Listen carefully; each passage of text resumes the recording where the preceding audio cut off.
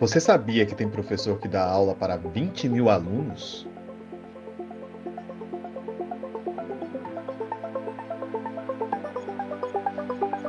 É possível um professor corrigir milhares de provas todos os meses? Neste vídeo, você vai ver como empresas de educação têm faturado milhões e piorado o ensino no Brasil. A Unopar é uma faculdade que eu acho, se eu não me engano, pertence a Croton, que é a Cogna, né?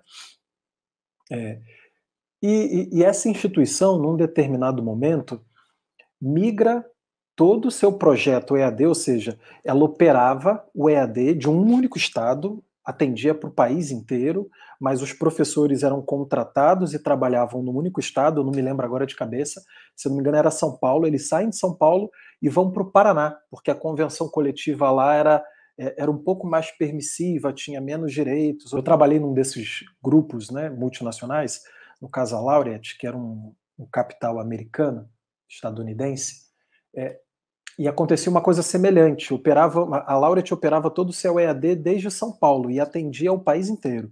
Só para vocês terem ideia, eu era contratado por três instituições do Nordeste e trabalhava desde São Paulo, na Vila Olímpia. De um ano para o outro, as instituições mudavam por completo é, todo o processo de, de organização do trabalho, de atribuição de aulas, de designação de professores. Né? Era comum que todo ano houvesse demissões em massa e recontratação anualmente de levas e levas de professores num número cada vez sempre mais reduzido. Né? Éramos 300, 300 professores trabalhando num pequeno prédio na rua Quatá, ali na Vila Olímpia, atendendo aproximadamente 300 mil alunos do país inteiro. 300 professores. Só para a gente ter ideia é, do, do que, que isso significa em sobrecarga de trabalho, atribuições. Eu cheguei a lecionar, num único semestre, é, um número X de disciplinas que somavam ao todo 20 mil alunos, num único semestre.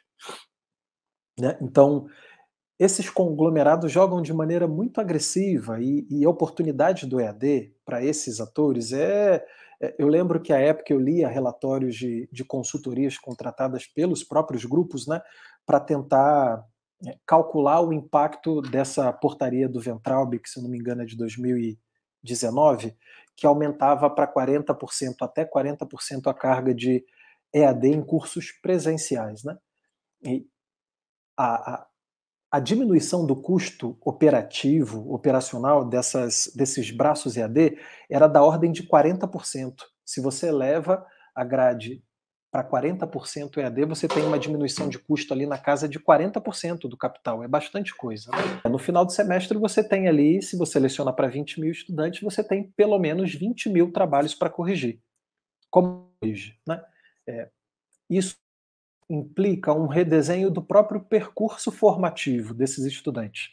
Não dá para se, se conceber um percurso formativo onde esses é, alunos e alunas sejam avaliados mais de uma vez por disciplina ao longo de um semestre, porque senão você coloca o professor diante de um dilema que a melhor corporação vai ter também sérias dificuldades de resolver, que é como é que eu corrijo 40 mil, 60 mil, 80 mil atividades num semestre. Se o professor der duas disciplinas, lecionando para 20 mil alunos, ele tem 40 mil tra trabalhos para corrigir. Né?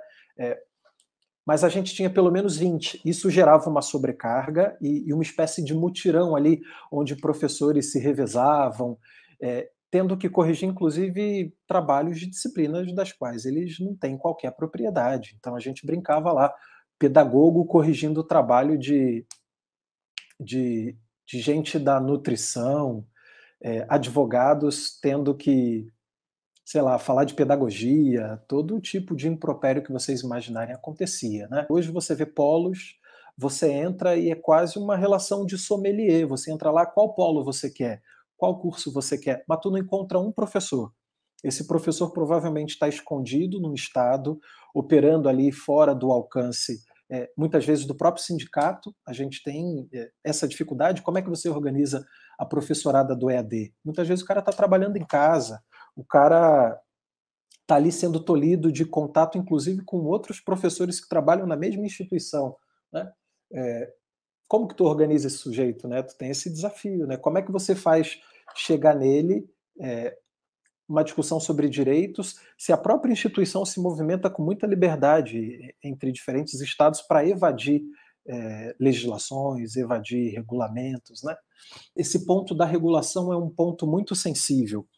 Me parece que tem toda uma, uma discussão importante a ser feita na regulação. Queremos uma educação superior onde um professor leciona para 20 mil e mal tem condições de acompanhá-los, de sanar as suas dúvidas, né?